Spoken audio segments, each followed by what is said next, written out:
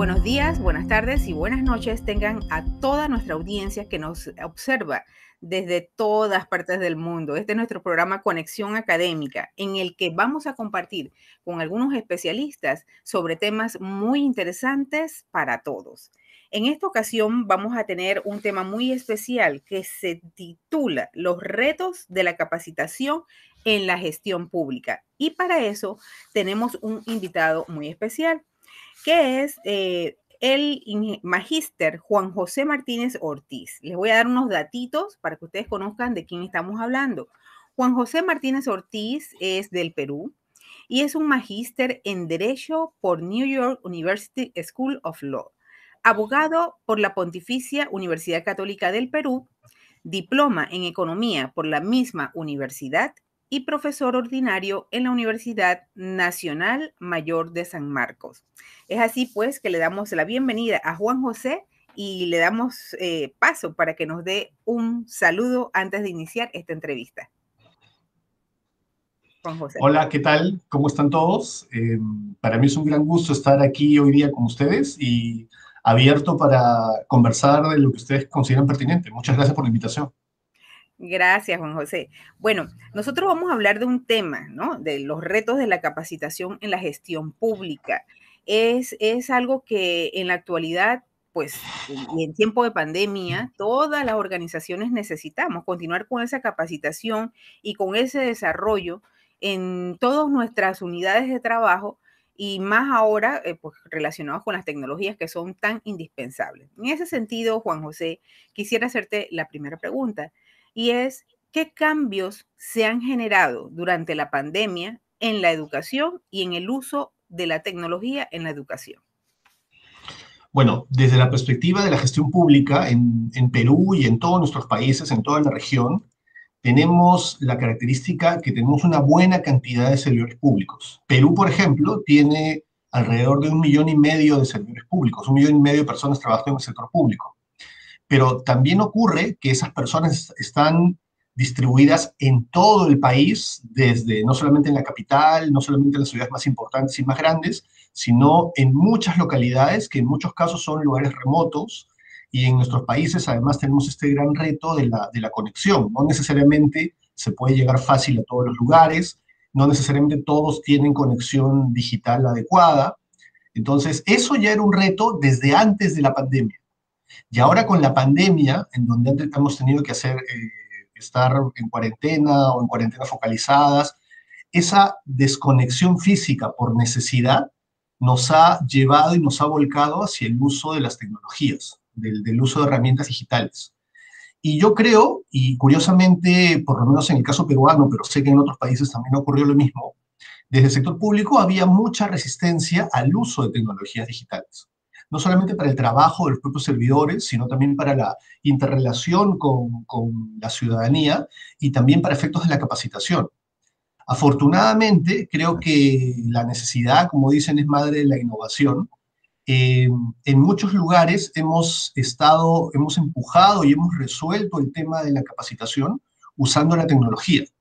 Y claro, eso además ha sido hecho de la noche a la mañana prácticamente. La, pandemia no avisó, no nos dijo que iba a llegar y sobre la marcha tuvimos que adecuarnos, lo cual ha sido un reto y a la vez ha demostrado la capacidad de resiliencia y la capacidad de respuesta de muchas entidades y la necesidad de los propios servidores y, la apertura a recibir capacitación en, bajo estos mecanismos digitales, ¿no? que como digo, es otra modalidad, tiene otros retos, tiene otras exigencias, y por lo tanto implica mucha innovación, mucha, mucha capacidad de hacer cosas de manera diferente.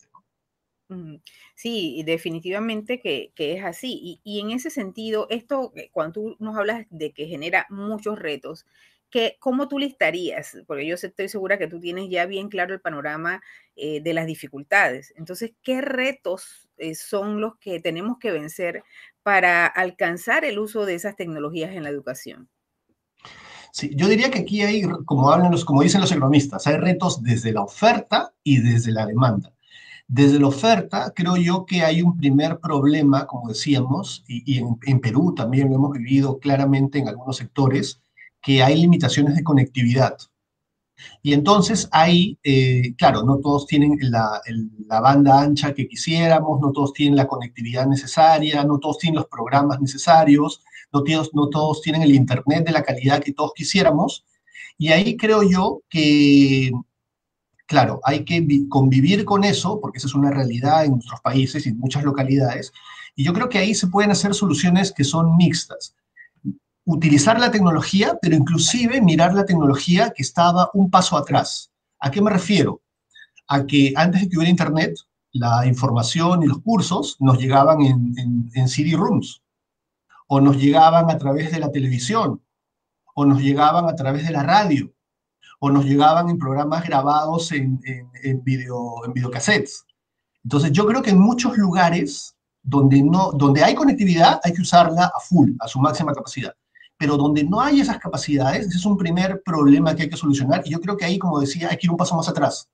Y entonces hay que adaptarse y hay que utilizar la tecnología de punta, pero también la tecnología que estaba un paso o hasta dos pasos más atrás. La televisión, la radio, los videocassettes, eh, los CD-rooms, todo ese tipo de cosas desde el lado de la, Ese es un tema desde el lado de la oferta. Desde el lado de la oferta también hemos tenido, y, y, yo lo he vivido desde el lado universitario, pero estoy seguro que en todas las entidades vinculadas a capacitación ha sucedido lo mismo, es que los docentes no estábamos preparados. Los docentes somos en muchos casos muy tradicionales. Estamos acostumbrados, eh, yo puedo contar mi propia experiencia. A mí, eh, inclusive, yo podría decir que soy un profesor que no utilizaba prácticamente PPT. Yo era de pizarra y escribir en la pizarra y hablar con los alumnos, e interactuar mucho con los alumnos. Migrar a lo digital para muchos de nosotros ha sido un golpe, porque hay que estructurar muchas cosas, hay que interactuar de otra manera, hay que jugar con herramientas digitales, entonces no necesariamente los docentes hemos estado preparados para eso. Y desde el lado de la demanda, desde el lado de los, de los sujetos a ser capacitados, de los servidores públicos en este caso, yo creo que también ahí en, en nuestros países hay nuestros servidores públicos no son digitales entonces, un reto adicional ha sido entrenarlos y, enseñarles cómo funciona la computadora, cómo funciona el Internet, cómo entrar a estos aplicativos para hacer videoconferencias como estamos ahora. Eso, yo diría que el año pasado, 2020, fue un gran shock para todos. Pero, como digo, de los grandes problemas y las grandes necesidades salen las grandes innovaciones y también las grandes voluntades. Afortunadamente, en muchos lugares, gracias a la voluntad de docentes, de directivos públicos y la buena voluntad también de los servidores públicos, se han podido armar eh, paquetes de capacitación que han estado funcionando, creo que de, regular para bien. Y el otro problema también ha habido es que este, todo este tiempo en donde estamos, digamos, limitados en cuanto a la presencialidad física, eh, está generando, y eso es un tema que también los psicólogos están, están estudiando últimamente, hay como un hastío y un cansancio también de tanta virtualidad. Ese es otro reto que creo que ya estamos en el segundo año de pandemia, viene y también hay que enfrentar. Y hay que considerar cómo lo vamos a, cómo lo vamos a manejar. Así es, eh, definitivamente que esto ha sido un shock para todos y bueno, hemos, hemos vivido cosas difíciles eh, los educadores también al no dominar las tecnologías, como es la experiencia que nos ha contado, ¿verdad? Y de igual manera, lo has dicho, los servidores públicos no se quedan atrás. Entonces, en medio de, estas carencias, en medio de este cansancio, en medio de esta eh, necesidad de continuar aprendiendo para poder hacer uso adecuado de la tecnología, eh, en medio de estas cosas que, que parecen negativas hasta cierto punto, ¿Realmente ves oportunidades en el uso de las TIC para capacitar a los servidores públicos? ¿Qué, oportunidades encuentras en esta situación? Sí, por supuesto. Yo lo primero que creo es que eh, justamente habiendo logrado enfrentar con relativo éxito los retos de, la pandemia y, la falta de presencialidad y la necesidad de conectarnos vía tecnología, demuestra eso, que la tecnología funciona, que la tecnología sirve, que la tecnología se puede utilizar y se puede utilizar con fines educativos. Yo diría que esto es como, como haber pasado la primera fase de exámenes y la hemos pasado bastante bien. Lo que ahora viene es perfeccionar, perfeccionar eso. Ya, ya aprendimos, ya vimos cómo funciona, ya vimos lo que es bonito, lo que, lo que es bueno, lo que funciona, lo que es malo, lo que no nos gusta.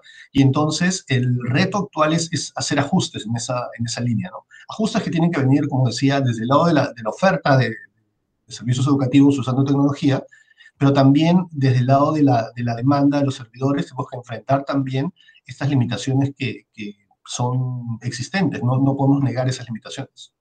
Claro. Eh, Juan José, entiendo que usted dirige el Observatorio Latinoamericano en Gestión de Desarrollo. Eh, ¿Cuál sería el compromiso de, de OLAGED para formar a los servidores públicos de América Latina?